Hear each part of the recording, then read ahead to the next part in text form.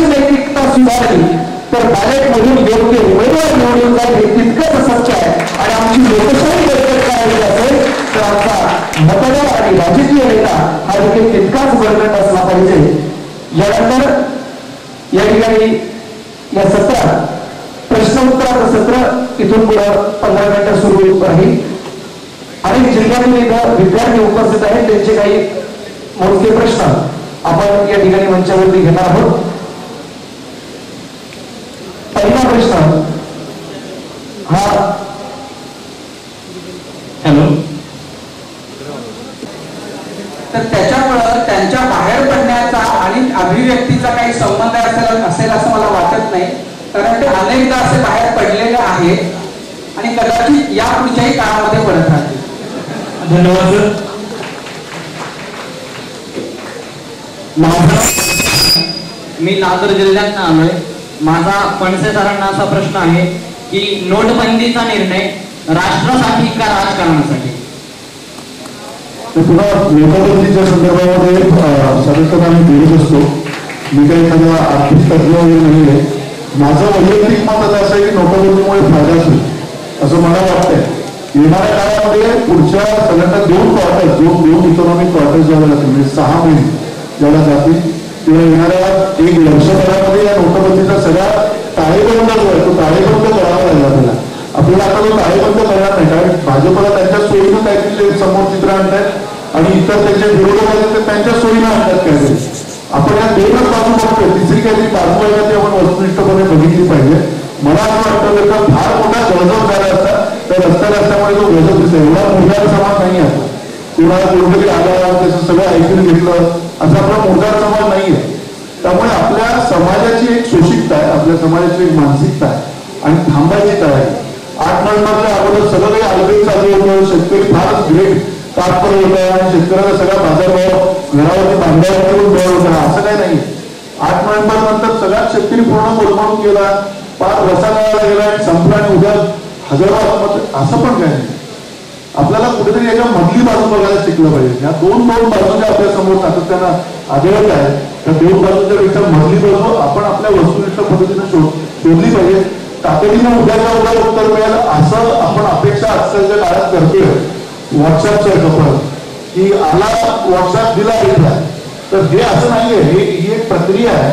एक मोठी आर्थिक प्रक्रिया आहे. त्या मोठ्या आर्थिक प्रक्रियेनं आपण प्रगल्भपणे बघितलं पाहिजे. थोडंसं थांबलं पाहिजे. ज्यावेळेला वाटलं की हे चुकीचं आहे आपल्याला बटन आहे बटन दाबायचं विरोधात त्यावेळेला.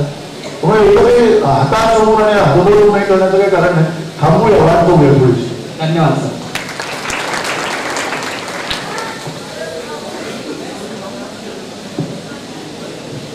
Hello sir. माझं नाव चैत्राली विनायक उभे. मी डॉक्टर सुधाकर जाधवर याच महाविद्यालयात शिकते. माझा प्रश्न आहे बर्गे सरांना धार्मिकता राष्ट्रवादाला पूरक आहे की मारक आहे? मी माझ्या भाषणामध्ये सांगितलं की राष्ट्रप्रेम राष्ट्रवाद त्याला दुसरा कशाचाही आधार लागत नाही. जसं उदाहरण दिलं मी आईच्या प्रेमाचं तसंच हे आहे की कट्टर धार्मिकता किंवा कट्टर धार्मिक वाद हा राष्ट्रवादाला पर्याय किंवा पूरक असू शकत नाही. ते एक साधन म्हणून वापरलं जातं. आणि ह्या साधनाचा वापर करून जे आज आपण दुर्दैवाने जगामध्ये जो प्रश्नमुक्त प्रश्न असा दहशतवादाचा तो याचाच आधार घेऊन धर्मवादाचा आधार घेऊन धार्मिकतेचा कट्टरतेचा आधार घेऊन निर्माण झालेला आहे. राष्ट्रवाद आणि धार्मिकता कुठेही संबंध नाही.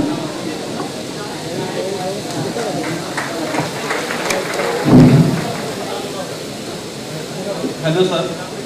माझं नाव पृथ्वीराज आणि माझा मंदार सरांना एक प्रश्न आहे. मंदार सरांना प्रश्न आहे की तुम्ही एक चर्चासत्र आयोजित केलं होतं गडकरी पुतळा तोडफोड प्रकरण. त्यामध्ये तुम्ही असं दाखवलं की माननीय नितेश राणे यांनी पाच लाख रुपयाचं बक्षीस जाहीर केलं की पुतळा तोडफोड करणाऱ्याला. पण ते ज्या दिवशी हे बक्षीस दिलं गेलं ठरल्याप्रमाणे हे बक्षीस दिलं गेलं त्यावेळेस तुम्ही चर्चासत्रामध्ये असं म्हणजे आयोजित म्हणजे चर्चासत्र यावर आयोजित केलं होतं की ते अशा प्रकारच्या रकमा जाहीर करून पुतळा विकृतीकरण वगैरे होणे हे वाईट आहे महाराष्ट्र पण हे पाच लाख रुपये ज्या मुलांना ज्या मुलांनी ते पुतळा तोडफोड प्रकरण केलं त्या मुलांना दिले गेले होते. त्या मुलांनी ते पैसे स्वतःसाठी न वापरता इतर मुलांसाठी किंवा आत्महत्याग्रस्त शेतकरी जे असतील त्यांच्या मुलांसाठी वगैरे शिक्षणासाठी शिष्यवृत्तीसाठी वगैरे दिले होते. तर ते पण बातमी तुम्ही का नाही दाखवली? कुठंतरी ही बातमी दाखवण्याचा तुम्ही प्रयत्न करताय असं आम्हाला वाटण्यास वाव आहे बरोबर. मी तुमच्या सगळ्या भावनांचा सन्मान करतो सगळ्यात पहिल्यांदा. पण मुद्दा एक प्रश्न मी तुम्हाला वेगळा विचारतो. एक वेगळा प्रश्न तुम्हाला विचारतो. आपण सध्या गडकरी मुद्दा बाजूला ठेवूया. माझ्याकडे दहा लाख रुपये आहेत. आणि मी दहा लाख एक कुठल्या तरी एका विशिष्ट महापुरुषाचा पुतळा हा तिथे गोंधळ करण्यासाठी तोडायला कोणाला तरी सांगितलं. आणि ते दहा लाख रुपये नंतर त्या तोडणाऱ्या युवकांनी कुठल्या तरी एका समाजाला किंवा कोणाला तरी दिले. ते तोडल्यामुळे उद्या दंगे धोपे झाले काहीतरी गोंधळ झाला समाजामध्ये. समाजाचं नुकसान झालं. तरी सुद्धा ते दहा लाख रुपये नंतर मी दिले माझी जबाबदारी म्हणून. आणि मग नंतर त्या दहा लाखाचा त्यांनी अधिक काहीतरी दुसऱ्या तरी सामाजिक कामासाठी त्याचा विनियोग केला. योग्य आहे का मला सांग? तुम्हाला? माझं म्हणणं एवढंच आहे की कुठलीही गोष्टी लोकशाहीच्या मार्गाने व्हायला ऐका ना माझा हो किंवा नाही मध्ये आपण बोलूया थोडस. हो किंवा नाही सुरुवातीला आपण मी तुमचं मी तुमच्याशी पुढे संध्याकाळपर्यंत आपण बोलू. त्याच्यात काहीच शंका नाही. गडकरी पुतळा इतिहास महाराज सगळं. माझा मुद्दा एवढाच आहे की तुम्ही जर का आज महाराष्ट्रामध्ये एवढे ठिकठिकाणी प्रतीक आहेत मोठमोठी प्रतीक आहेत आणि आपल्या प्रत्येक माणसाला मी कुठल्या महात्मा फुले असतील छत्रपती शिवाजी महाराज असतील डॉक्टर बाबासाहेब आंबेडकर असतील अनेक ताराताऱ्यांचं तिथे हे आहे कोल्हापुरामध्ये. तर हे सगळे जे आपण उभे केलेली जी प्रतीक आहेत ती प्रतीक आपण अशा पद्धतीनं मी वैयक्तिक द्वेष करतो. मला कदाचित एक विचार आवडत नसेल. कदाचित मला सावरकर आवडत नसतील. त्यांचा विचार आवडत नसेल. मला गांधी कोणा तरी आवडत नाही आवडत नसण्याचा अधिकार सगळ्यांना आहे या राज्यात. पण ते आवडत नाही म्हणून मी पूर्ण नष्टच करायला निघालो उद्या हा जो विचार आहे ना हा चुकीचा आहे. आमचं म्हणणं त्याच्यावरती जो काही वाद आहे तो वाद वादंगाने मिटवा. जो काही वाद आहे त्याच्यावरती विचार मांडा. त्याच्यावरती विचारानंतर पुढे जा. पण पुढे जायला पाहिजे पण हा द्वेष घेऊन जर का हे सगळं करत बसलं पैसे वाटत बसले साधारणतः तुम्हाला तो पाच एक कोटी मध्ये महाराष्ट्र जळून जाईल आता. माझा प्रश्न एवढा आहे की कुठली म्हणजे आता विचार पडत नाही एकमेकांचे तर विचारांची लढाई ही विचारानच व्हावी. विचारांची- लढाई पुतळे तोडून होत नाही. पुतळे तोडून होत नाही या कृतीचं समर्थन पण मी करत नाहीये. पुतळा तोडफोड वगैरे प्रकरण जे झालं त्याचा मी समर्थन पण योग्य नाही. लोकशाहीच्या मार्गाने झालं पाहिजे हे पण मी कबूल करतो. पण या मागचा माझा मुख्य प्रश्न असा होता की ते तो जो- ती जी मदत दिली होती पाच लाख रुपयाची. त्यांनी जाहीररित्या व्यासपीठावर प्रवीण दादा आमच्या त्या कार्यक्रमात आले होते. प्रवीण दादाने ते सांगितलं की बाबा आम्ही हे त्यावेळेला पहिल्यांदा कळलं की हे जे पाच लाख रुपये आहेत नाही, माझं ते म्हणणं आम्हाला आहे- सहकार्यात दिलं. त्यामुळे आम्ही दाखवलं नाही दाखवून ठेवलं असं नाही मित्र नाही नाही तुम्ही लक्षात घे तुम्ही बोलत नव्हतात की तुम्ही फक्त एवढ्या वेळेस बोलत होता की पुतळा तोडफोड पाच म्हणजे आपण मान्य नाही ना ठीक आहे, ठीक आहे. आम्हाला हे मान्य नाही हे मला माहिती आहे. ऐका ना. मान्य नाही मला माहिती आहे. पण ते पाच लाख रुपये त्यांना दिले गेले. ठीक आहे धन्यवाद. अं, प्रश्न जे विचारतात हे कोल्हापूरमधून आहे. माझे तीन प्रश्न आहेत मी अगदी थोडक्यात विचारतो. फक्त एक विचारा. नाही सलगच विचारतो सलग उत्तर द्या. अगदी थोडक्यात. तीन ओळीत तीन प्रश्न. काही माध्यम आहेत माध्यम हा समाजाचा गाभा आहे असं म्हटलं जातं. माध्यम काही माध्यमं जे आहेत.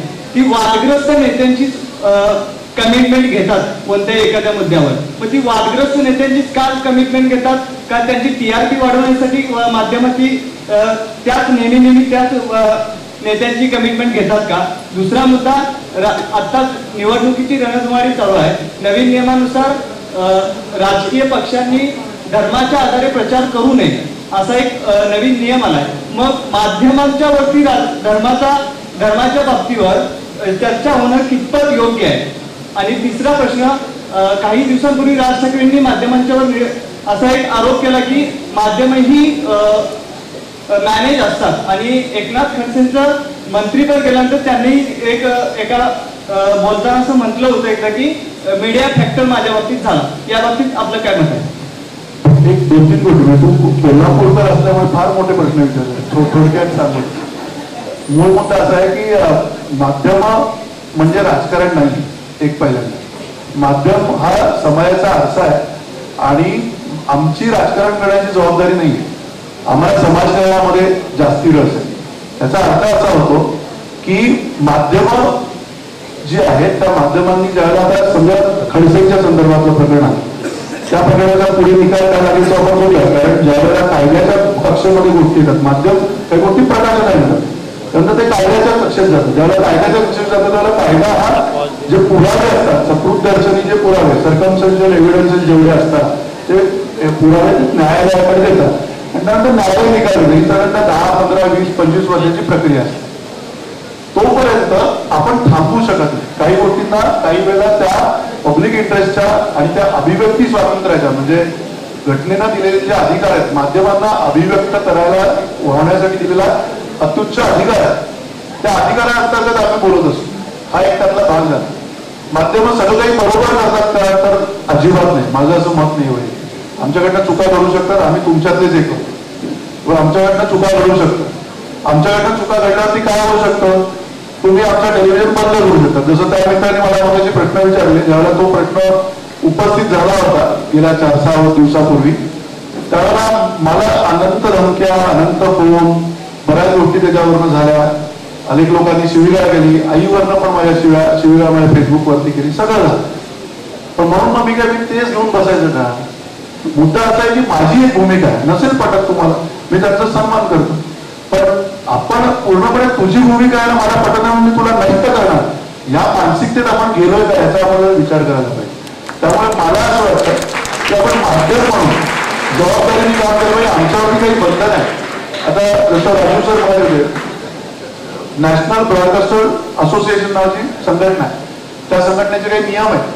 म्हणजे उदाहरणार्थ ज्यावेळेला बाबरी मशिदीचा प्रश्न आला होता गेल्या वेळेला ज्यावेळेला ते बाबरी मशिदीचं प्रकरण पुन्हा न्यायालयाच्या समोर येणार होतं त्यावेळेला आमच्यावरती सर्वांनी बंधनं त्या संघटनेने आम्ही स्वतःहून टाकली होती की तो प्रसंग जो आहे तो आम्ही दाखवणार नाही कुठे. आज तुम्ही गुगलवरती जा इकडे जा तिकडे जा सगळीकडे ते अवेलेबल आहे ती व्हिज्युअल्स आहेत ती अवेलेबल आहेत. म्हणून ती दाखवली नाही. म्हणून काही फार मोठं झालं दाखवली म्हणून काय झालं असं नाही. काही काही बंधनं हळूहळू आमची आमची स्वतःवरती येण्यावरती आमची प्रक्रिया सुरू आहे. जी टेलिव्हिजन माध्यमात तुला दिसतात ती साधारणतः दोन हजार सहा पासून जास्ती चोवीस तास झाली. दोन हजार सहा किंवा दोन हजार पाचच्या अगोदर मराठी माध्यमं सुद्धा नव्हती चोवीस तासाची. आम्ही जेव्हा टेलिव्हिजन सुरू केलं ते नव्याण्णव साली सुरू झालं. म्हणजे काही फार सतरा अठरा वर्षापूर्वीची सगळी गोष्ट आहे. म्हणजे सतरा अठरा वर्षापूर्वी तयार झालेला एक जे रोपट आहे ते हळूहळू मॅच्युअर यायला प्रगल्भ व्हायला सुरुवात झालेली आहे. हळूहळू ती प्रगल्भता आमच्याकडे येते. आमच्याकडनं काही चुका किंवा आमच्याकडे काही वाईट प्रवृत्ती नाही तर आमच्याकडे तर आहे. कारण आपल्या समाजाचाच आरसा होता आम्ही. या समाजातलेच आहोत. त्यामुळे माध्यमांना सुद्धा बघताना तुम्ही पूर्ण काळे पात्र बघू नका त्याच्यात ग्रे आहे ते हळूहळू कळपावती येणाऱ्या काळात परत येईल पण या सगळ्यामध्ये माध्यम जर टिकून राहायचे असेल तर त्याच्यात विश्वासार्हता आणि बऱ्याचदा असं होतं की आम्ही लोकप्रिय ज्या गोष्टी आहेत त्या लोकप्रिय गोष्टी आम्ही तुमच्या म्हणणारा होला हो म्हणून असं नाही. कारण आम्हाला आमची एक संपादकीय चौकट आहे. आम्ही कसे बदलत त्या संपादकीय चौकटीमध्ये कशासाठी बदलत? त्याचे आमचं एक रिझनिंग आहे. तसे एक आमचे एक कारण मीमांसा आहे. त्या कारण मीमांसेमधून आम्ही पुढे जात असतो तर जसं आता या मित्रांनी प्रश्न विचारले असे प्रश्न येणार आम्हाला येणार काय? हे तुम्ही काय करता ते काय करता? म्हणजे मला लोक हिंदू धर्मामध्ये पण आम्हाला शिविगाळ करतात आम्हाला काही क्रिकेटवाले पण शिविगाळ करतात आम्हाला भाजपमध्ये भाजपवाले सुद्धा शिविगाळ करतात. आम्हाला म्हणजे शिविगाळ म्हणजे मी या कारण की आमच्यावर टीका करणं आमच्यावरती रागावणं. काहीही झालं तरी कारण आम्ही प्रस्थापित ज्या गोष्टी आहेत त्या प्रस्थापितांना विरोध करतो. आणि प्रस्थापितांना ज्यावेळेला आपण एखादी गोष्ट तुम्ही बाबा हे चुकलं. हे बरोबर आहे तुमचं पण हे चुकलं. हे सांगण्याचा आमचा आभारीच अधिकार आहे. तो आमचा निसर्गदत्त म्हणण्यापेक्षा घटनादत्त अधिकार आहे. आणि त्यामुळे त्या घटनेच्या आधारावर आम्ही पुढे पुढे जात असतो. त्यामुळे हा एक प्रश्न झाला. तिसरा प्रश्न तुझा जो होता त्याच्यामध्ये काय काय होता तिसरा प्रश्न? पहिला मी विषय होता. तांदूळ आहे सर. निवडणुकीपूर्वी जे एक्झिट पोल दाखवतात ते का पेड न्यूज असतात का किंवा त्याच्यापेक्षा अजून काय होतं माझं तर वैयक्तिक असं मत आहे की त्या पेज एकटीच पोल काही फरक पडतो समाजामध्ये. तुमचा प्रश्न बरोबर आहे. एक सगळ्यात महत्वाचं म्हणजे एक्झिट पोल आम्ही गेले दोन ते तीन वर्ष दाखवत नाही त्याचं एक कारण असं की एक्झिट पोलच्या काही ठिकाणी काही घटना झाल्या त्याच्यामध्ये रिगिंग झालं. दुसरं त्यातला आणखीन एक तांत्रिक भाग आहे. तो तांत्रिक भाग असा आहे की एक्झिट पोल ज्यावेळेला केले जातात त्यावेळेला एक्झिट पोलमध्ये बऱ्याचदा अशी परिस्थिती येते की तुमचं सॅम्पल साईज जे स्टॅटिस्टिकल सांख्यिकी दृष्ट्या जेवढी सॅम्पल साईज तुमच्याकडे असायला पाहिजे ती सॅम्पल साईज न घेताच तो क्लोज केला जातो. तर समजा पुण्याचा हा विभाग विभागामध्ये अठरा वगैरे पद्धतीची लोक राहतात तर त्या लोकांची लोकसंख्या आपल्याकडे किती आहे? त्या लोकसंख्येच्या तुलनेत स्त्री पुरुषांचा पर्सेंटेज किती आहे? तरुणांचा पर्सेंटेज किती आहे? वयोवृद्धांचं पर्सेंटेज किती आहे? मतदान करणारे आणि न करणाऱ्यांचं पर्सेंटेज किती आहे? या सगळ्या अनुषंगाने जी संख्या घेतली पाहिजे ती घेत नाही. म्हणजे मी माझा वैयक्तिक अनुभव सांगतो. एकेकाळी आमच्याकडे ज्यावेळेला एका ठिकाणी एका चॅनलमध्ये असताना ज्यावेळेला पोल घेतला होता त्यावेळेला अख्ख्या मुंबईचा पोल घेतला गेला. आणि अख्ख्या मुंबईचा पोल घेताना जी सॅम्पल साईज होती ती त्यावेळेला आठशे त्र्याऐंशी होती. आता आठशे त्र्याऐंशी जी सॅम्पल साईज आहे ही काही मुंबईला रिप्रेझेंट करणार नाही मग आम्ही त्या सांग जे सांख्यिकी म्हणजे होते आमचे जे स्टॅटिस्टिकल एक्सपर्ट होते म्हणजे सेटॉलॉजिस्ट होते त्यांच्याशी आम्ही वाद घेतला की हे बरोबर मग आम्ही तो त्यावेळेला तो पोल आहे तो बाजूला ठरला तर कारण असं आहे की ही पोल हे एक तंत्र आहे. म्हणजे अमेरिकेमध्ये माध्यम अशा प्रकारचं काम करतात म्हणून आम्ही पण तशाच प्रकारचं काम करतो. अमेरिकेमधली लोकसंख्या तिथली एकूण राजकीय आणि लोकशाही पद्धत जी आहे ती पद्धत आणि आपल्याकडची लोकशाही पद्धत ही पूर्णपणे भिन्न आहे.